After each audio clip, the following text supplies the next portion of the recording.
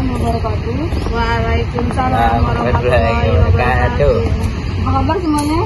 Baik Bu. Baiklah sebelum mulai pelajaran marilah kita berdoa.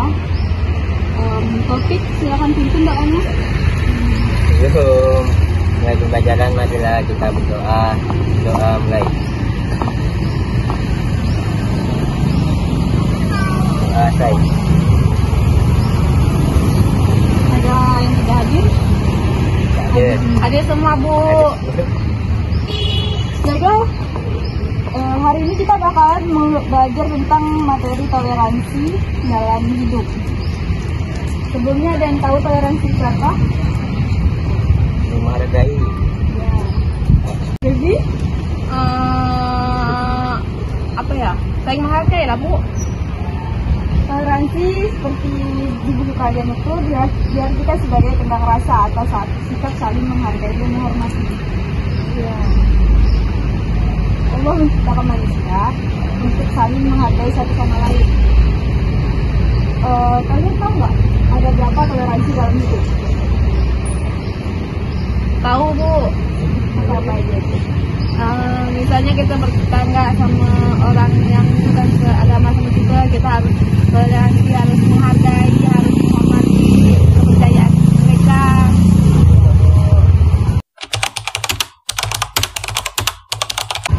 Di sini ada toleransi mengenai keramaian negeri dan toleransi dalam kehidupan sehari-hari. Jadi salah satu di antara kalian mungkin kelompok pribadi bisa itu membahas tentang toleransi dalam kehidupan sehari-hari dan satu lagi bahasa kedamaian negeri.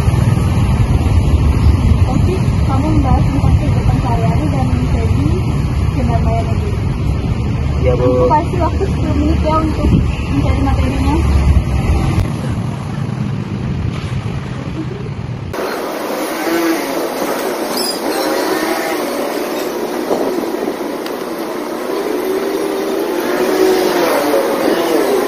Ten minutes later. Sudah Bu. Sudah? Topik sudah? Dah. Dah. Tapi karena kalian tadi merupakan kelompok asal, maka jadi kita bertukar materi lagi. Topik silakan jelasin kepada Feby apa yang kamu dapat dan Feby juga jelasin ke tentang apa yang kamu dapat. Ada. Eh, adapun contoh toleransi sendiri yang bisa kita lihat dalam kehidupan sehari-hari di antaranya satu bergaul dengan semua orang tanpa membedakan kepercayaan masing-masing yang kedua menghargai dan memberikan kesempatan kepada teman dengan agama yang berbeda untuk berdoa tanpa mengejek atau diskriminasi. Yang ketiga memberikan rasa aman kepada umat agama lain yang sedang beribadah. Yang keempat tidak menghina agama lain. Yang kelima ketika perayaan hari besar keagamaan umat lain kita harus menghargai dan menghormatinya. Dan yang terakhir tidak mengejek budaya orang lain baik itu logat dan ciri khasnya karena masing-masing budaya mempunyai keistimewaan dan keunikan tersendiri Jadi toleransi dalam kedamaian itu didasarkan merupakan antara yang kaya akan budaya dan agama.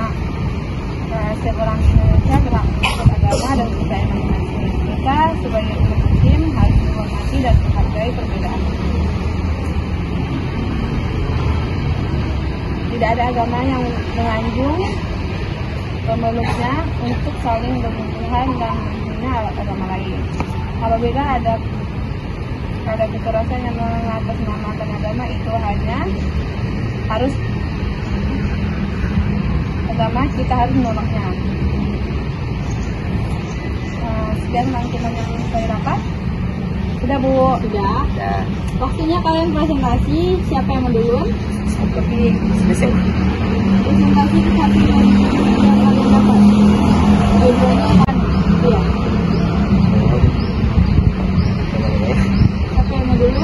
Taruh. Sabar bu.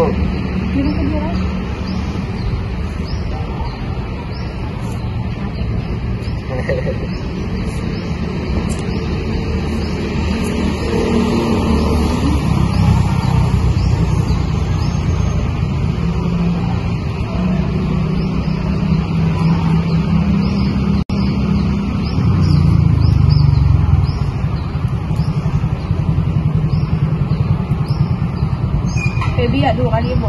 Nih gimana? Jadi toleransi dalam kehidupan sehari-hari, contohnya bergaul dengan sesama teman, tidak tidak membedakan agama. Yang kedua, menghargai dan menghormati kepercayaan hari besar keagamaan umat lain. Yang ketiga, tidak menghina dan mengejek-ejek agama lain. Yang keempat, memberikan kesempatan pada teman non muslim untuk beribadah sesuai agama masing-masing. Eh, seterusnya, memberikan rasa aman kepada agama lain yang sedang beribadah. Tidak memaksakan kehendak kepada orang lain. Meman mengadakan silaturahmi dengan tetangga yang ber- berbeda agama. Uh, seterusnya toleransi dan dalam dan budaya negeri Indonesia merupakan negara yang kaya akan budaya dan agama. Setiap orang di Indonesia berhak menganut agama dan kepercayaan masing-masing. Kita sebagai umat muslim harus menghormati dan menghargai perbedaan itu. Sekian Bu yang dapat saya simpulkan dari materi kita hari ini. David.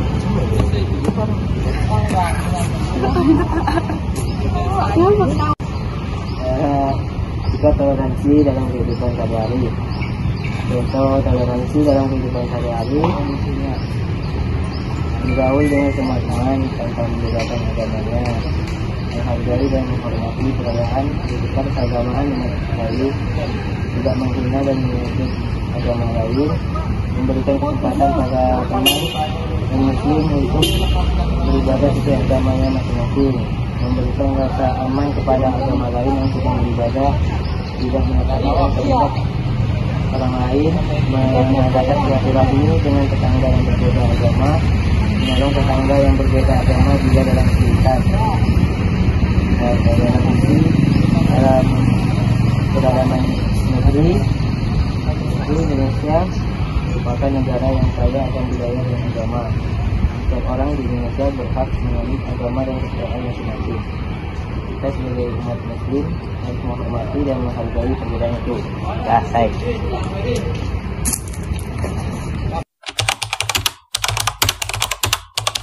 saya. Oke, kalian berdua sudah mempresentasikan dari hasil belajar kelompok kalian.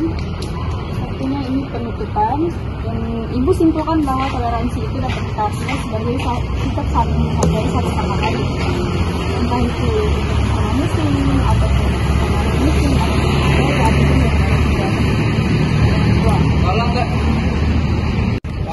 Oke, kalian berdua sudah mempresentasikan dari hasil belajar kelompok kalian. Artinya ini penutupan. Dan ibu simpulkan bahwa toleransi itu dapat diartikan sebagai sikap saling menghargai satu sama lain. Entah itu sama muslim ataupun sama muslim ataupun berbeda.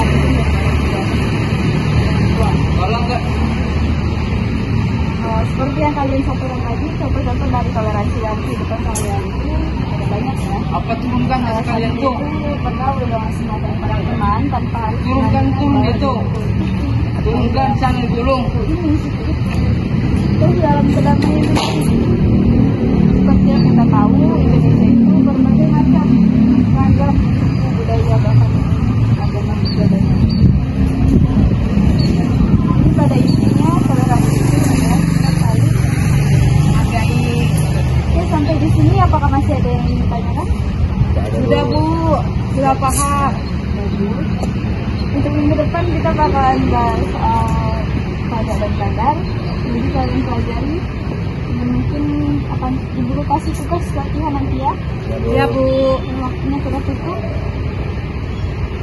Wabillahi taufiq wal hidayah. Wassalamualaikum warahmatullahi wabarakatuh. Waalaikumsalam warahmatullahi wabarakatuh. Terima kasih Bu.